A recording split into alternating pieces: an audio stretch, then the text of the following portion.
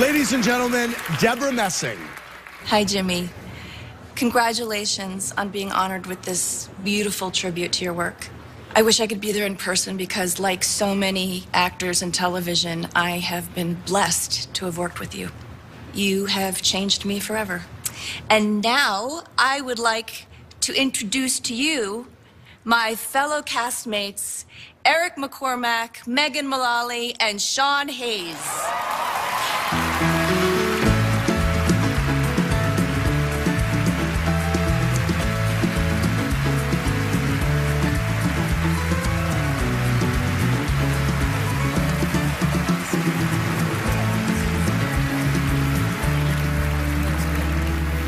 I feel like we just won something. So cool seeing you together. This show meant so much to me. It's so fun watching those clips. Do you remember the first time you read the script for Will and Grace? Sure. What was your reaction? I, I, it was a little scary because it just read like, like a must-see TV show. It just read like something that was going to make it on air. And then when I heard Jimmy's name, it was like, oh boy, this Yeah. is going to. In fact, at the end of it was the end of the first season, uh, and it had been going very well. And I saw Jimmy on the lot. I said, "What are you What are you still doing here?" He said, uh, "Oh, I was just uh, I was just talking to the boys about what we're going to do with your character next year." And I said, "So, so there's there's going to be a next year?" And he said, "For God's sake, McCormack, buy a house." I love it.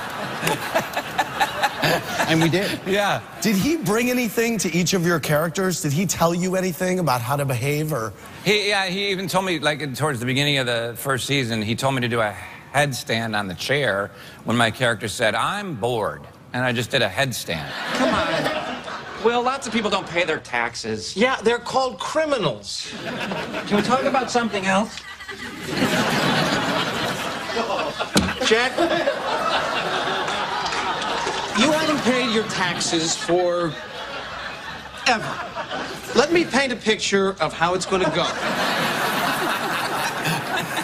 Megan, talk to me about Karen's voice. How did you come up with that?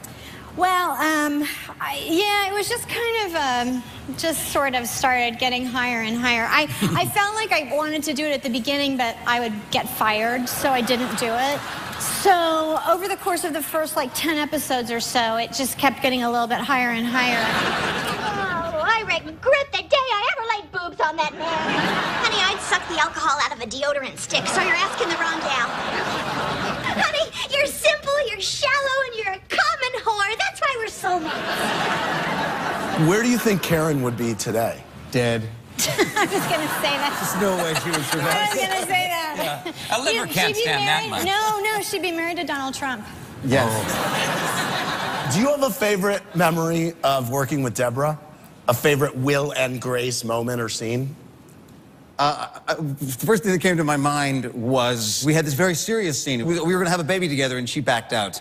And we had this serious scene that really ended with the two of us telling each other to go to hell. I am going to try to be happy. And if you can't deal with that, then you are even more pathetic than I thought. Get out of here. Go to hell. No, I mean it.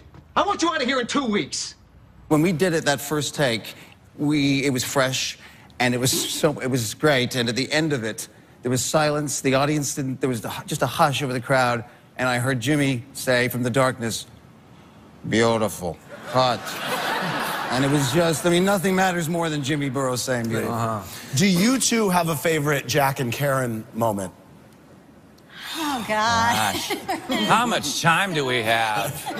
I mean, You tell us. yeah. Well, that was Jimmy who, you know, choreographed all those slap fights. Get a grip on yourself. You get a grip on yourself. My ah.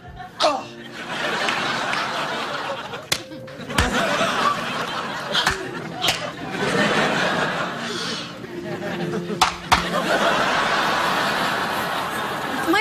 Favorite thing was our last scene together.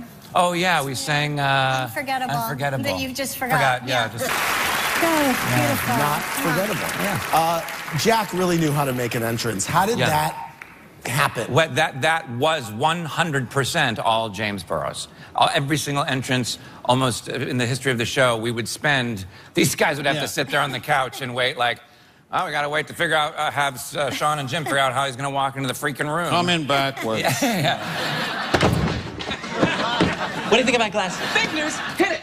B I G N E W S. to the cabin we will go and ski upon the snow. Oh, sister, I love my Mr. Mail.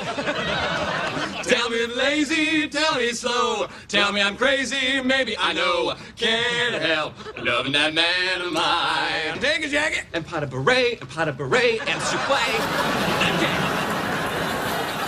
Talk to me about uh, the legacy of the show uh, for, for gay people. Why was it so groundbreaking? It was amazing when Joe Biden just a few years ago said we, we did more to move the gay movement in America than almost anything. And I, we all texted each other after, like, what did he just say? So I didn't, uh, me personally, I don't want to speak for everybody, you know, it was never our intention beyond making anybody laugh. So anything beyond that was incredible. And to now see, see that is just so rewarding. I think I speak for everybody. I- I- yeah.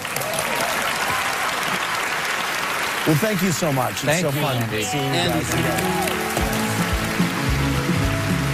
Coming up, the cast of Cheers, The Big Bang Theory, Taxi, and Friends.